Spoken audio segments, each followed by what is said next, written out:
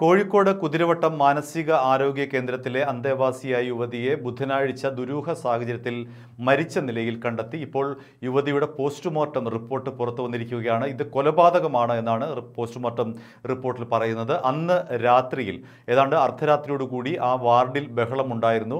ആ വാർഡിലെ മറ്റൊരു അന്തേവാസിയായിട്ടുള്ള പത്തൊൻപത് വയസ്സുകാരിയും ഈ കൊല്ലപ്പെട്ട ആളും തമ്മിൽ വഴക്കുണ്ടാവുകയും കായികമായി ആക്രമിക്കുകയും ചെയ്തു. കൊല്ലപ്പെട്ടയാൾ മഹാരാഷ്ട്ര സ്വദേശിനി ജിയറാം ജിലോട്ട് എന്ന് പറയുന്ന മുപ്പത് വയസ്സുകാരിയാണ്. ഇവരും ഈ പത്തൊൻപത് വയസ്സുകാരിയും തമ്മിൽ അടിപിടി ഉണ്ടായി. അതിന്റെ ഭാഗമായി പത്തൊൻപത് വയസ്സുകാരിക്ക് ക്രൂരമായിട്ടുള്ള ആക്രമണമേറ്റു മുഖത്ത് പ- പരിക്കേറ്റു. അതേപോലെ ശരീരത്ത് പലയിടത്തും പരിക്കേറ്റു. ഉടൻ തന്നെ ഇവരെ രണ്ടുപേരെയും ആശുപത്രി കൊണ്ടുപോയി ജീറാമാകട്ടെ അബോധാവസ്ഥയിലുമായിരുന്നു.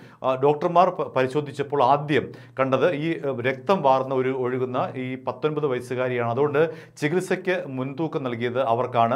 ആ, ജീറാമിനെ സംബന്ധിച്ച് അങ്ങനെ അവർ രണ്ടാം തവണയാണ് ജീറാമിന് ചികിത്സ ലഭിക്കുന്നത് എന്നാണ് പ്രാഥമിക പരിഗണന.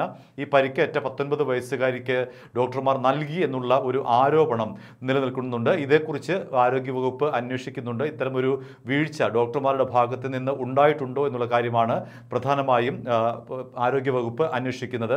അങ്ങനെയെങ്കിൽ കുറ്റക്കാർക്കെതിരെ നടപടി ഉണ്ടാകുമെന്നുള്ള കാര്യവും ഉറപ്പാണ്. ജീറാമിനെ കഴുത്ത് ഞെരിച്ചാണ് കൊലപ്പെടുത്തിയത്. ഒപ്പം കഴുത്ത് ഞെരിക്കുകയും ശ്വാസം മുട്ടിക്കുകയും ചെയ്തു. മൂക്ക് വായും കൂടി ചേർത്ത് പിടിക്കുകയും ഒരു കൈകൊണ്ട് മറ്റേ കൈകൊണ്ട് കഴുത്ത് ഞെരിച്ചു പിടിക്കുകയുമാണ് ചെയ്തത്. അതോടുകൂടി അബോധാവസ്ഥയിലായിരുന്ന ജീറാം ഏതാനും മിനിറ്റുകൾക്കകം തന്നെ മരിക്കുകയായിരുന്നു. പിന്നീട് ഇപ്പോഴാണ് പോസ്റ്റ്മോർട്ടം റിപ്പോർട്ട് വന്നിരിക്കുന്നത്. ഈ വാർഡിലെ ജീവനക്കാർക്ക് ഏതെങ്കിലും തരത്തിലുള്ള വീഴ്ച ഉണ്ടായിട്ടുണ്ടോ എന്നുള്ള കാര്യം അന്വേഷിക്കുമെന്നാണ് ആശുപത്രി സൂപ്രണ്ട് അറിയിച്ചിരിക്കുന്നത്. അതേസമയം ഈ പത്തൊൻപത് വയസ്സുകാരിയെ ഉടൻ തന്നെ അറസ്റ്റ് ചെയ്യുമെന്ന് പോലീസ് അറിയിച്ചിരിക്കുകയാണ്.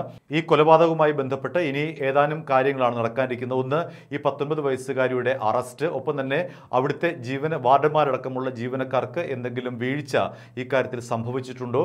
അതേപോലെ തന്നെ ഡോക്ടർമാർക്ക് പരിശോധന സമയത്ത് വീഴ്ച സംഭവിച്ചിട്ടുണ്ടോ എന്ന് തുടങ്ങിയിട്ടുള്ള എല്ലാ വിശദാംശങ്ങളും തന്നെ അന്വേഷിക്കുമെന്നാണ് ഇപ്പോൾ പോലീസ് അറിയിച്ചിരിക്കുന്നത്.